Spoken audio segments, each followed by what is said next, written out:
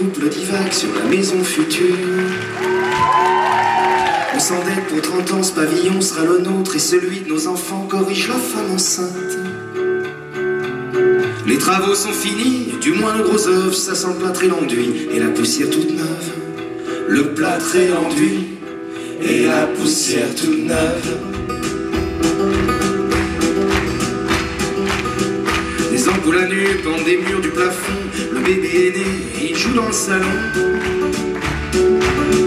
On ajoute à l'étage une chambre de plus, un petit frère est prévu pour l'automne. Dans le jardin, les arbres aussi grandissent, on pourra y faire un jour une cabane. On pourra y faire un jour une cabane.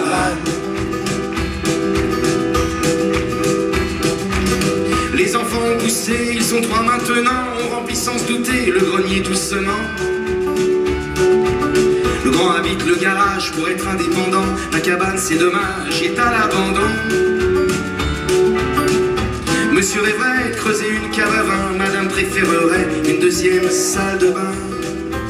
Ce sera une deuxième salle de bain. Les enfants vont et viennent, chargés de linge ça devient un hôtel, la maison familiale. On a fait un bureau dans la petite pièce d'en haut et des chambres d'amis. Les enfants sont partis.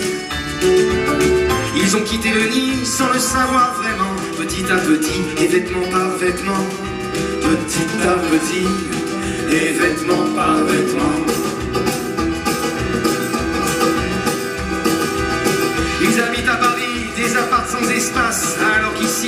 Il y a trop de place. On va poser, tu sais, des stores électriques, c'est un peu laid, c'est vrai, mais c'est plus pratique. La maison somnole comme un chat fatigué, dans son ventre ronronne la machine à laver. Dans son ventre ronronne la machine à laver.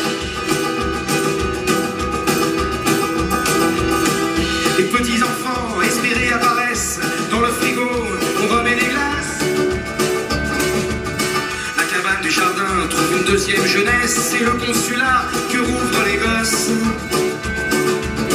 Le grenier sans bataille livre ses trésors, ses panoplies de cow-boys aux dix ambassadeurs qui colonisent pour la dernière fois la modeste terre promise, quatre murs et un toit.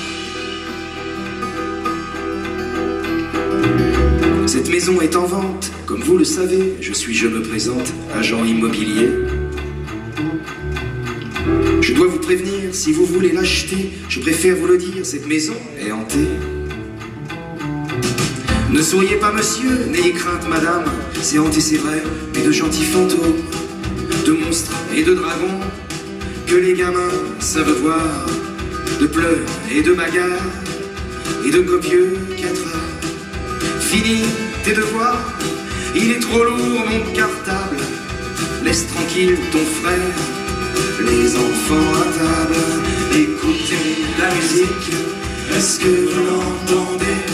Écoutez la musique, est-ce que vous l'entendez?